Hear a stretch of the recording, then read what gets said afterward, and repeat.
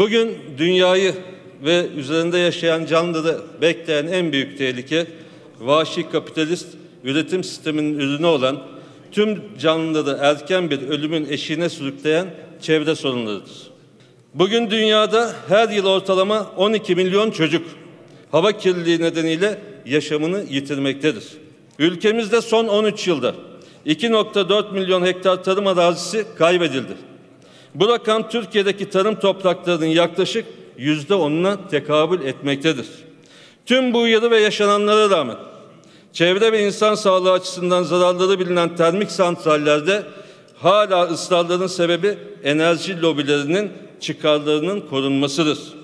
Yarın Allah korusun yaşanacak telafisi mümkün olmayan bir çevre felaketi sonucu enerji lobileri de bizi kandırmış demeyin sakın. Bugün Çevre Bakanlığı'nın bütçesi görüşülürken isteğimiz en doğal yaşam hakkımız olan temiz su, temiz hava ve temiz topraktır. Çevreyi, yaşamı ve çocuklarımızın geleceğine sahip çıkın diye size aykırıyoruz. Kime aykırıyoruz? 14 yıldır ülkeyi tek başına idare etmeye çalışan AKP kadrolarını. 14 yıldır ülkeyi terör batağından, kan ve gözyaşından kurtaramayan kadrolardır. Bunlar devletin kurum ve kuruluşlarının FETÖ üyeleri tarafından kuşatılmasına destek olan, seyirci kalan, himaye eden AKP kadrolarıdır. Bunlar ekonomiyi faiz lobisine teslim eden, 5 milyon 874 bin işsiz, 16 bin 700 yoksul, ülkeyi borç batağına sürüklemiş AKP kadrolarıdır. Bunlar Kuzey Kıbrıs'ta Mehmetçiğin kanıyla alınmış topraklarımızı ve oradaki askerlerimizi koruyamayanlardır. Ege Denizi'ndeki adalara sahip çıkamayanlardır.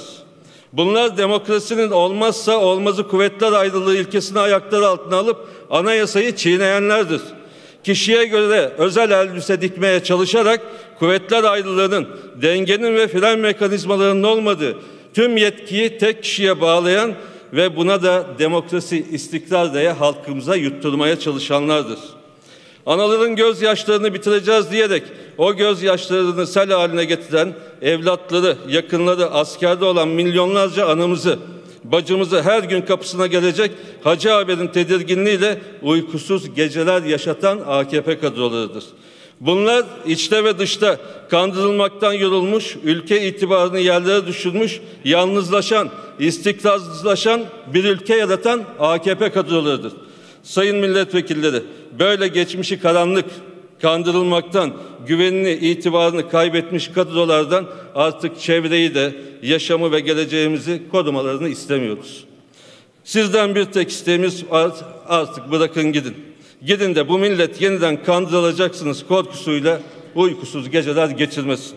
Bırakın gidin de ülkenin üzerine örttüğünüz kara bulutlar dağılsın.